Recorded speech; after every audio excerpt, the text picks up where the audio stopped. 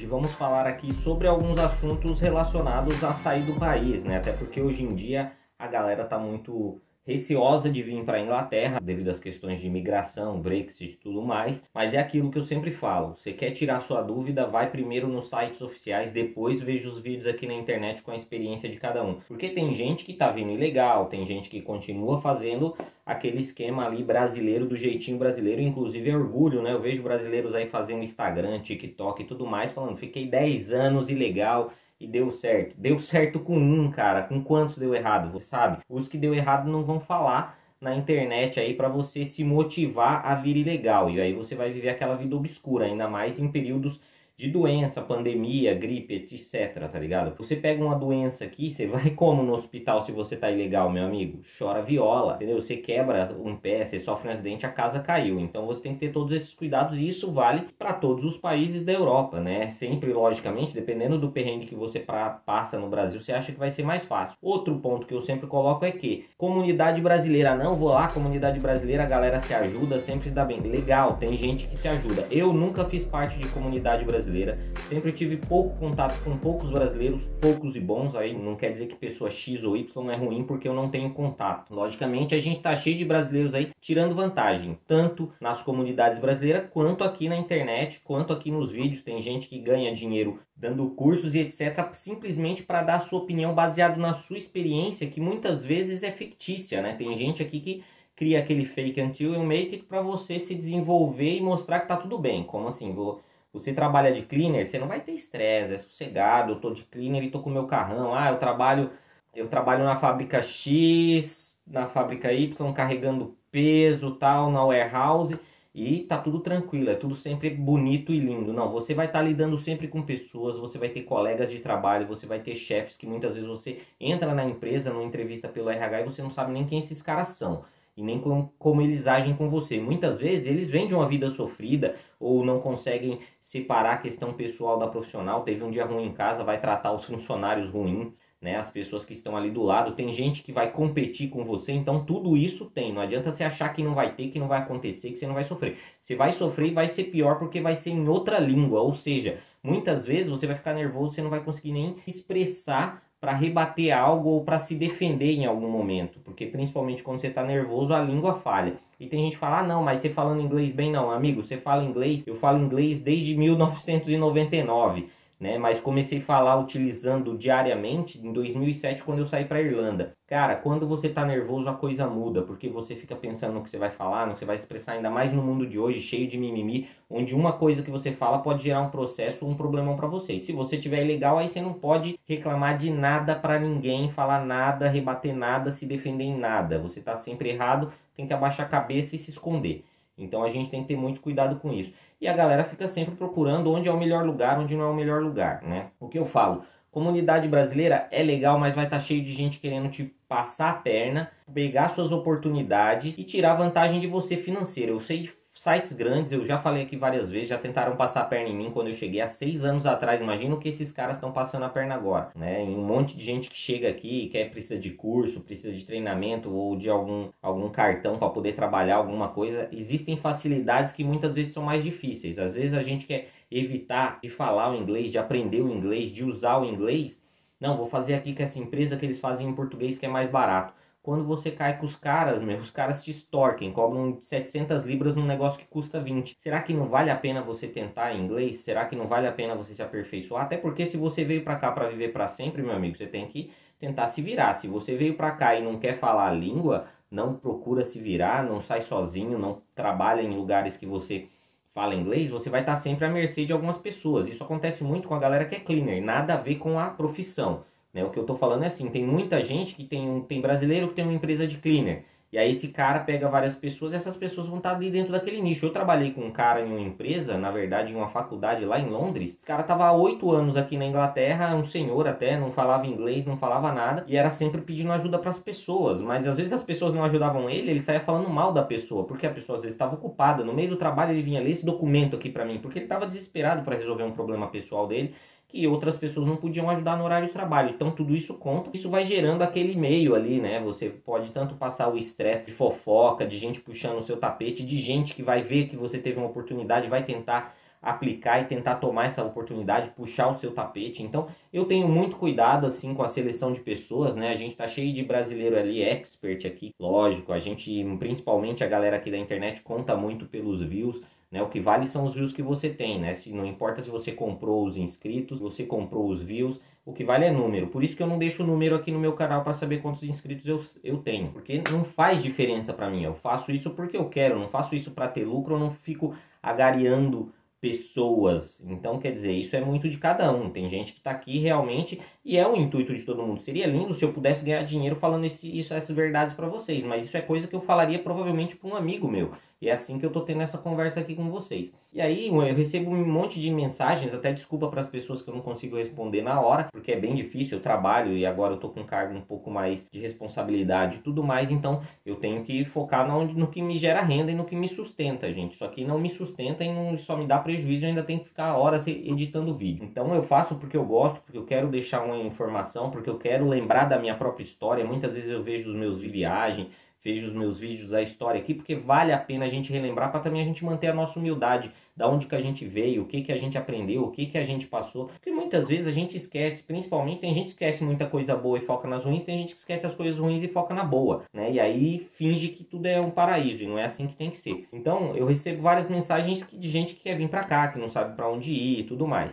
Então, cada país, você tem que estudar um pouquinho sobre o país, ver se aquilo vai bater com você, se você aguenta. Tem gente que vem pra cá, mas, cara, não consegue ficar sem falar língua, sente muita falta de falar o português.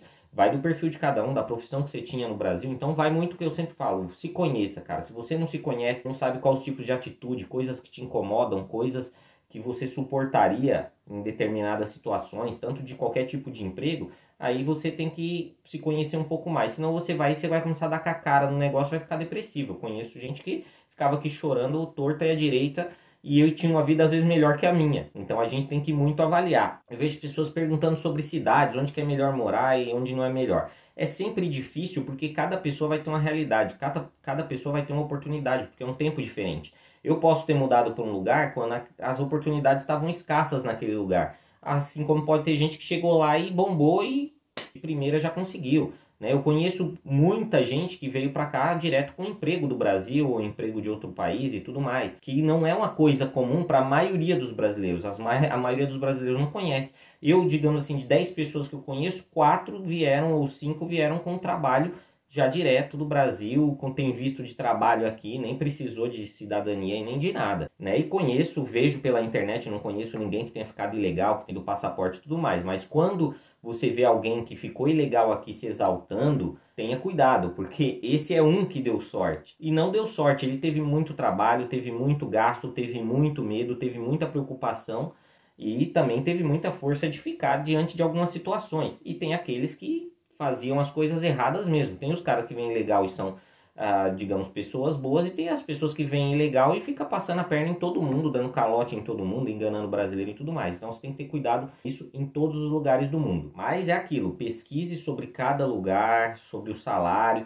Não fique só nos videozinhos onde tudo é lindo, porque às vezes uma coisa que alimenta muito a gente é justamente isso. Eu, o que, que eu quero ouvir? Aí você vai procurar aquela mesma mensagem repetitiva para de alguma forma te motivar a tomar aquela ação. Mas quando você chega lá é totalmente ao contrário. E isso acontece com muitas pessoas. Por isso é bom você ver todos os lados, né? Ver as partes difíceis, ver os lugares ruins, ver os lugares bons, pesquisar. Eu tenho vários vídeos aqui. Eu vou deixar a playlist aqui em cima para vocês, para vocês procurarem e verem os vídeos.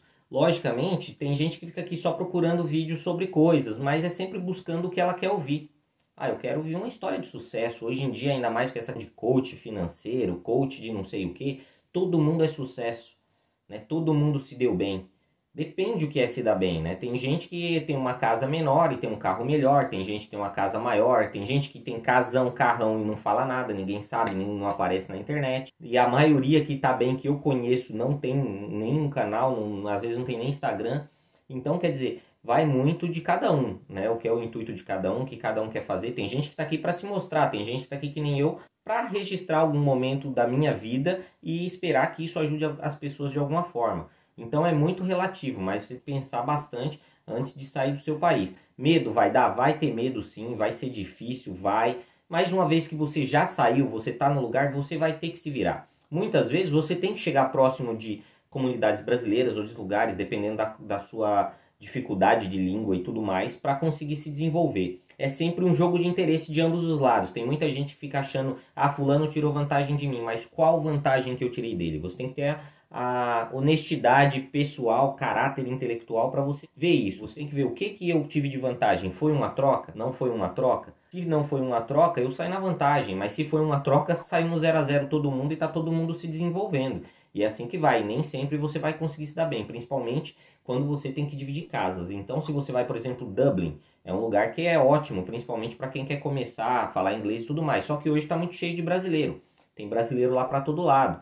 E aí você fica muitas vezes, muita gente fica preso nessas comunidades e fica se vitimizando dizendo que ah, o país não se abre para mim, as pessoas daqui não são amigáveis. Mas você realmente tem contato com as pessoas do seu país? Você realmente mudou para ficar para sempre?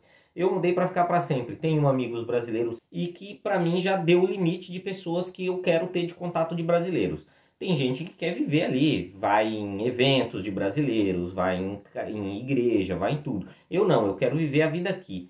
Né? E até essa questão religiosa e tudo mais, eu não me apego tanto. Embora eu seja católico, eu já fui em espírita, já fui em um monte de lugar. Eu vou onde me faz bem. Eu vou onde aquele lugar me faz bem e onde aquilo me dá paz suficiente para eu entrar em contato com Deus. Eu não preciso de ser humano nenhum para entrar em contato com Deus, seja lá com quem for, tá ligado? Eu não, não preciso de um intermediário entre eu e Deus, né? E não preciso de um lugar específico. Mas se eu sinto vontade, se eu sinto falta, eu vou em igrejas, eu e a Camila viajando aí pela Polônia, a gente entrou num monte de igreja, não sabia nem qual que era. Aqui na Inglaterra a gente entrou num monte, é anglicana, é protestante, é um monte de coisa, a gente entra, porque a gente respeita aquela religião e a gente sabe que o intuito principal dela é trazer alguma coisa boa pra gente. Então a gente tenta separar isso e tentar viver aqui o máximo possível, senão eu acabo só me, me aprofundando nas comunidades brasileiras e começo a achar que as pessoas ingleses são pessoas ruins ou pessoas que não se socializam com outras pessoas. E a gente tem amigos aqui vizinhos, inclusive não vizinhos diretos, mas três casas para lá que são muito amigos nossos, vem aqui, a gente, o cara serviu de referência para mim no meu emprego atual, eu precisava de uma referência daqui e o cara ligou, ligaram para ele, falaram com ele, ou seja, eles vêm aqui em casa jantar e tudo mais. Logicamente, com essa questão de Covid e tudo mais, tudo ficou muito mais difícil, mas a gente tem que se adequar ao país, fazer parte do país, fazer parte da cultura, né? E logicamente, muitas vezes a língua vira um problema, por mais que você ache que não, quando você está nervoso fica um pouquinho mais difícil, mas a gente tem que ir mesmo que com medo. Às vezes a gente tem que ir para um lugar que a gente não quer e depois mudar, mas para isso hoje em dia você tem toda essa informação. Na minha época não tinha nada, galera. No máximo que eu conseguia era imprimir o mapa do Google. Entendeu? Não tinha toda essa informação que a gente tem hoje. Então hoje está muito mais fácil. Basta você pesquisar, sempre sites oficiais. A gente deu vários vídeos aqui com vários sites falando de segurança, falando de educação. Você entra lá e você pesquisa para você tentar entender como tudo isso funciona e se desenvolver e conseguir sair do país. Né? E, hoje, e a gente muitas vezes, como eu falo também, muita gente se foca na questão financeira, dinheiro, qual é o país que dá mais dinheiro. O país que dá mais dinheiro é o que você vai trabalhar mais também, meu amigo. Não tem vida fácil, a não ser que você tenha dado uma sorte muito grande. Então você tem que procurar um que você seja um balanço dentro das suas personalidade. O que, que a minha personalidade aceita, o que, que eu trabalharia, do que, que eu não trabalharia, quanto que eu quero ganhar, eu administro bem, eu não me administro bem. Se você não se administra bem, você tem que trabalhar que nem um condenado para gastar que nem um condenado. E assim vai. Então esse aqui foi um vídeo mais para dar uma esclarecida para a galera que faz tempo que eu não falo desses assuntos aqui. E mais para frente eu vou colocar mais vídeos desse tipo para a gente passar essa experiência e não tomar os calotes que eu quase tomei e ter cuidado com algumas pessoas para não cair nessa aí do conto do vigário e não se apegar simplesmente a números, a status que pessoas criam. Se eu quisesse criar um status aqui, ó, dentro da minha salinha, tá tudo bonitinho, tal, tal, tal, vou ali compro uma, compro um carrão de 10 conto e o nego vai achar que eu tô super bem, que eu sou sucesso. E às vezes a pessoa não, e às vezes eu não tenho nem o cargo que eu tenho hoje, por exemplo. Tem gente que eu conheço que tem um cargo muito mais baixo que o meu e tem carros muito melhores, tem coisas muito melhores. Mas vai do que você se apega, né? Do que você tem de necessidade. A maioria dos brasileiros que eu conheço aqui são pessoas que trabalham bastante, que têm família, que precisam às vezes ajudar a família do Brasil, que pensam no futuro, que têm filhos. Então é outro perfil. Né? Se vem no perfil do solteirão, vida louca, eu já vivi com essa galera lá em Dublin. Então veja os meus vídeos de Dublin aqui e a gente se vê no próximo. Valeu!